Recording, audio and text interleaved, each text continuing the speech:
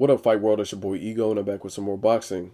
Well, it looks like we have another birthday in the world of boxing. Robert the Ghost Guerrero turns 30 years old today, and he's an Aries, just like myself. So shout out to all the Aries out there. And in a recent interview, Guerrero states that he feels God has placed him on this earth in order to humble Floyd Mayweather Jr. As you guys know, him and Mayweather are set to face off May 4th, aka May Day. And in lieu of Robert Guerrero's birthday, I wanted to know from the fans what are his chances of winning? Do you think he has a good, sizable chance to beat him? The one thing we do know, the things that we do know about Robert Guerrero is one, he has heart. He definitely has a chin. And he's been in there with some sizable competition from Orlando Salido to Escobedo, Andre Berto, Selçuk Aydin.